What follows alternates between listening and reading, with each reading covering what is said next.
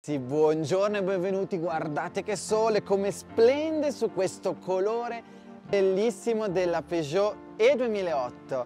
È stata lasciata ieri con il 28% e tutta bagnata e impolverata e oggi alle 4 del pomeriggio la tiriamo fuori dal box con il 98% di batteria. Direi un ottimo risultato questa, questa ricarica attraverso una, una spina normalissima asciugo per farvi capire come sia facile utilizzare una macchina elettrica anche in condizioni un po' diverse rispetto a quelle comuni di casa, lavoro o magari dove c'è una colonnina.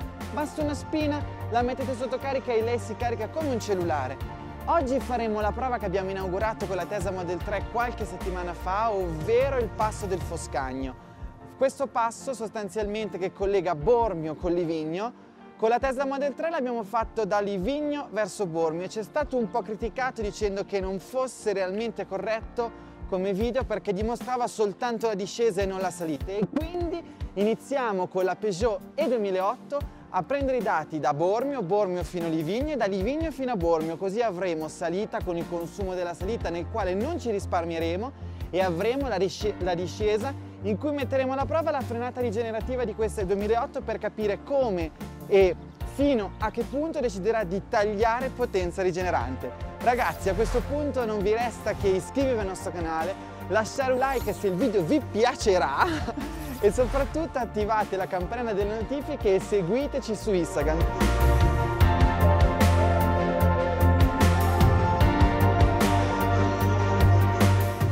con 270 km di autonomia e la frenata rigenerativa un pochino limitata. Va detto che la macchina era parcheggiata in box a 7 gradi, quindi sicuramente non avrà la batteria calda. Ci aggiungi il fatto che comunque si avvicina verso il 100%, quindi non ha tutta la frenata rigenerativa disponibile. Però comunque guardate ragazzi, adesso la Kami vi inquadra, quando mollo tutto un pochino di regen mi rimane lo stesso però insomma non abbastanza da poter andare giù senza utilizzare il pedale del freno. 8,8 kWh in rapida discesa, però insomma siamo partiti da pochissimi chilometri, quindi ci sta.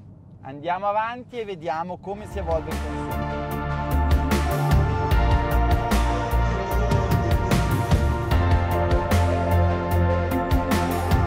Arrivati adesso giù a Bormio, 12 km fatti, consumo di 0,8 kWh. Ve lo do giusto insomma per darvi un dato interessante della discesa da Santa Caterina fino a Bormio. Adesso però azzeriamo, quindi tengo premuto, tutto va a zero e partiamo qui da Bormio e andiamo fino a Livigno, 1800 metri e vediamo quale sarà il consumo del primo tratto di salita. Tengo a dirvi che però partiamo con il 96% di batteria, quindi non come con il 98 come avevo detto all'inizio del video, ma con il 97 siamo partiti da Santa Caterina e con il 96 partiamo qui da Bormio e quindi vediamo con quanto arriveremo su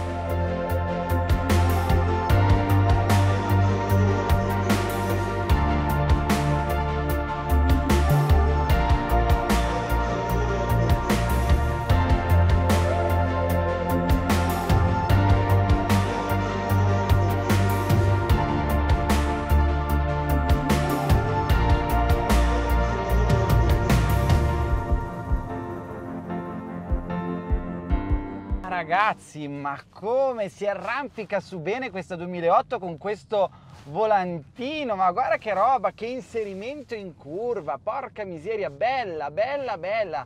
Giù tutto e siamo in eco e ti spara fuori benissimo, 33,4 kWh su 100 km, ok vabbè è altissimo, però nel senso è salita, tra l'altro anche bella impegnativa, non ci si potrebbe aspettare nulla di diverso. Stiamo andando su anche abbastanza spediti, anzi ragazzi, metto anche in normal perché voglio assaggiare un po' le doti dinamiche di questa 2008 e guardate che roba, guardate che inserimento in curva, veramente, veramente bella. Considerate che è un SUV, è comunque una macchina con un baricentro alto, c'è, c'è una triangolazione veramente del posto di guida perfetta. Guardate che roba, va su che, che, è veramente un piacere ed è il bello delle auto elettriche. Non c'è per forza bisogno di avere 400.000 cavalli per godere lo stesso di un ottimo piacere di guida. Baricentro basso dato dalle batterie, insomma, bella. Milli? Dopo guidi anche te. Dopo guidi anche te, la devi provare.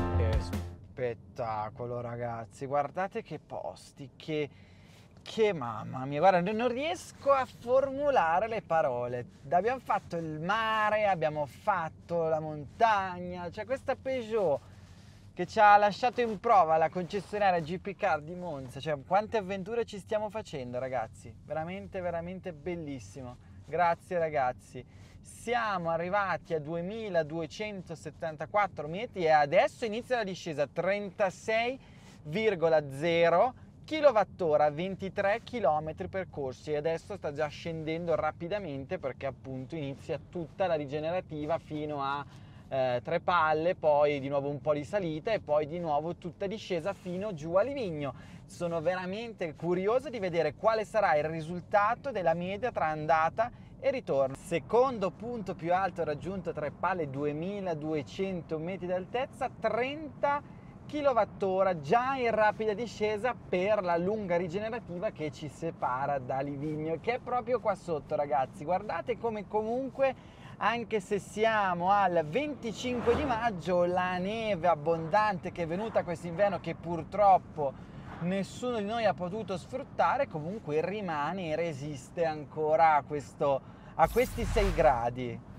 Comunque non c'è alcun taglio di frenata rigenerativa, quindi direi ottimo lavoro Peugeot per il momento.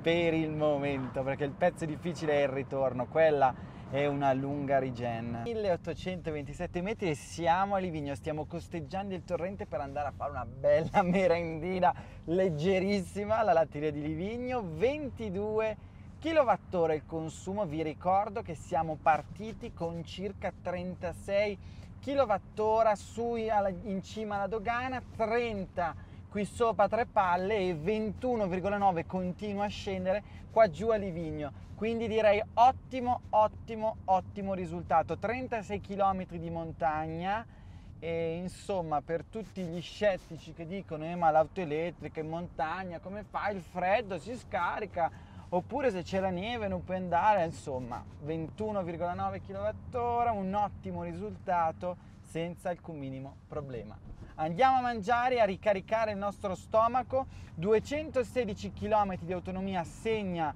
la Peugeotina è oltre il 75% di batteria. Vi ricordo che siamo partiti con il 96 da Bormio, comunque dopo attacchiamo il cavo per vedere la percentuale di batteria proprio ora che dobbiamo restituire la Peugeot io comincio a capire le sue indicazioni. Avevo ipotizzato oltre il 75% di batteria, siamo al 77, 21,6 il consumo finale vuol dire 222 km di autonomia in queste condizioni salita e discesa. Direi che è veramente un buon risultato. Adesso andiamo a fare merenda e poi vediamo quale sarà il consumo del ritorno con la lunga rigenerativa finale. Cazzo, non è la nostra giornata oggi, la latteria è chiusa, siamo arrivati troppo troppo tardi, infatti vedete la mia faccia triste perché non ho mangiato cioccolato, insomma non ho, non ho riempito il mio stomaco. Però fa niente, ci pensa la Peugeot a darmi soddisfazioni, partiamo con il 77%, 21,7 kWh, siamo già sulla salita verso tre palle, vediamo come arriviamo su in cima alla dogana e poi da lì sono curioso di vedere il risultato finale.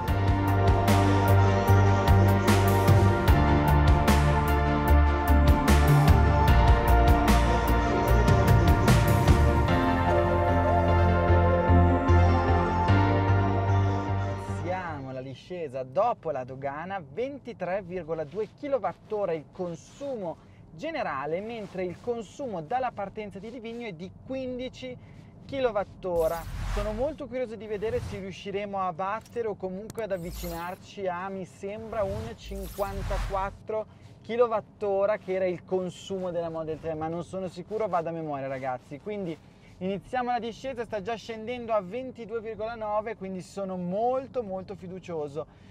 Vi ricordo che siamo partiti da Livigno con il 77% di batteria. Ok ragazzi, siamo arrivati a Bormio con 13,1 kWh. Direi un consumo pazzesco se pensiamo alla salita, alla discesa che abbiamo fatto Bormio-Livigno, Livigno-Bormio con 1000 metri Bormio, 1800 metri Livigno e con un passo, quello del Foscagno, che ci porta quasi fino a 2200 metri.